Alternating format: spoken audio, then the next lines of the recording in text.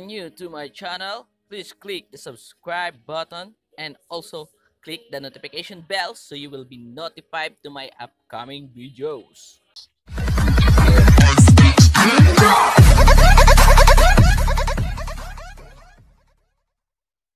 So, for today's video mga kahabi, ah, ipapakita ko sa inyo yung bagong concrete pond ko. Yan. May mga isda na akong nailagay dyan. So, tara, pakita ko sa inyo. So, ito yung bagong concrete pond ko mga kahabi. Ito. Bali, limang box to. Yan. Ito. So may mga laman na tong mga pond na to. Dito, nilagay ko yung mga balloon white muli ko dito. Ito. Nilagay ko yung white balloon muli. Tsaka dito yung mga 24k muli ko. Dito ko nilagay yung mga 24k muli yan. Napakadami nila. Ito. Tapos dito yung 24k na marble. Ah, siniperate ko sila dito dito tapos may mga balloon mulis akong nilagay dito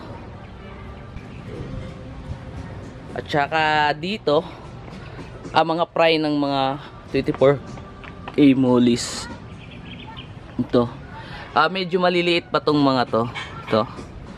So bali yan. Yan yung concrete pond na bago.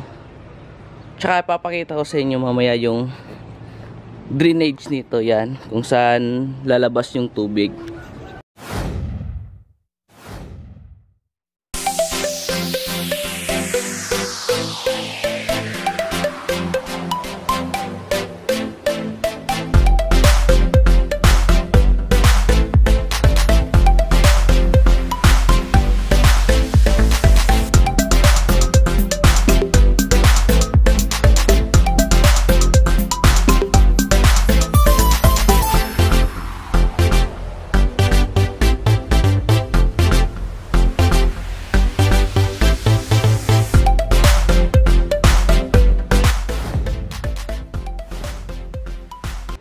kahabi yung size nitong pond na to uh, nasa yung wide nasa 5 feet tsaka yung height nito nasa 8 feet mga kahabi.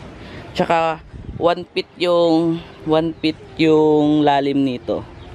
So yan. Tsaka 27 feet yung haba dito. Yun. Tsaka ito yung drainage pond nya yan. So dito lulusot yung tubig hanggang dun sa rice field. Yan. Same din dito. Yan. So dito ko nilalagay yung mga fry ng mga mulis ko. Kasi mas malapad to compared dun sa isang concrete pond ko na may trapad, trapal or laminated sack. So yun dito ako nagpapag-grow out tsaka doon ako nagbe-breed ng mga molis. Bali kinukuha ko yung mga fry at tsaka dito ko nilalagay. Yan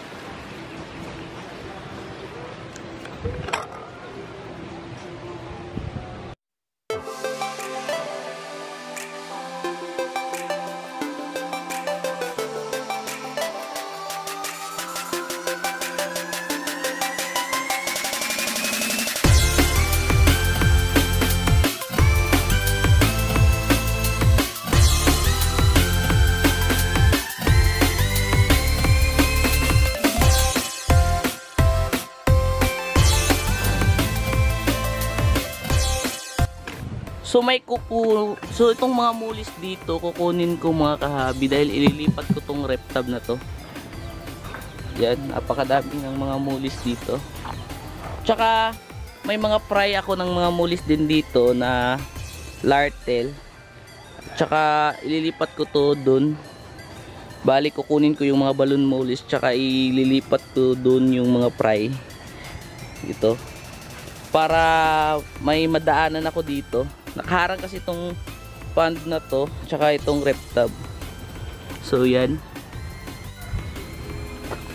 Nga pala mga kabi, may, may mga nakalagay din dito na mga platis. So kukunin ko yung mga platis tapos ah, ilalagay ko dun sa pond na may mga platis ko.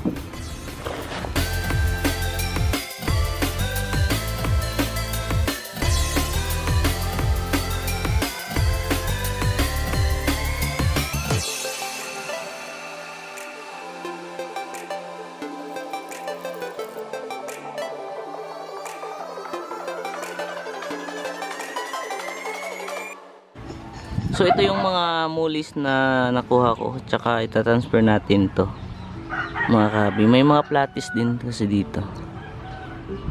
Ito. Yan ang mga platis. Meron pa dito. Tsaka malalaki na yung mga platis dito. Pry pa yung pagkakalagay ko pa dito nung platis, medyo maliliit pa sila. Ngayon malalaki na. So yan. Tsaka lilinisin ko muna tong rep.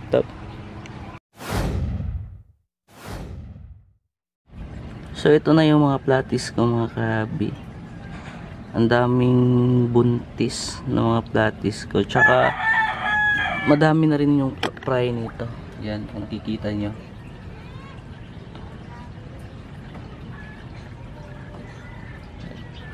Tsaka meron pa dito. Yan. So, nilagay ko sila sa cage kasi nangangain ng mga fry.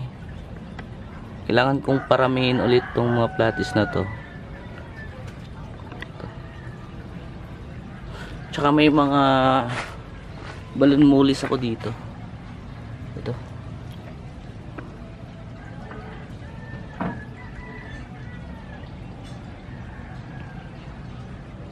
Yan. Tapos ang ganda ng pagkakatubo ng plants dito. Ito. Hindi kasi siya masyado naaarawan.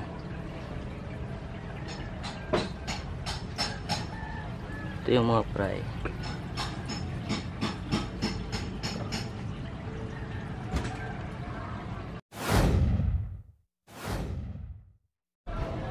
Bale, ito na yung mga fry ng mga lartail na mulis ko.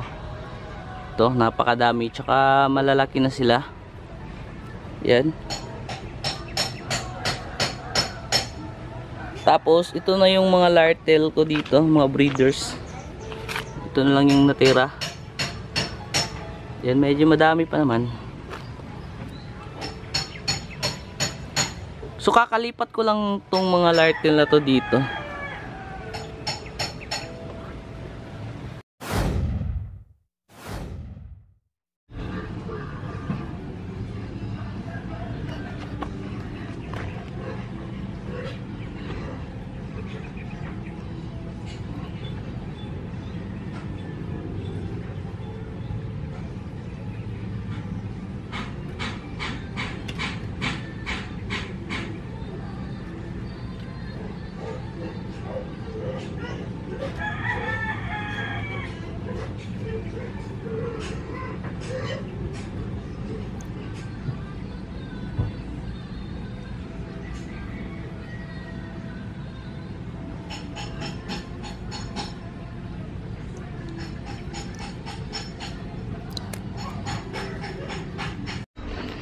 So at dito nagtatapos yung vlog na to mga kahabi. Kung na-enjoy nyo yung video, huwag kalimutang mag like, comment, and subscribe. At saka shout out kina.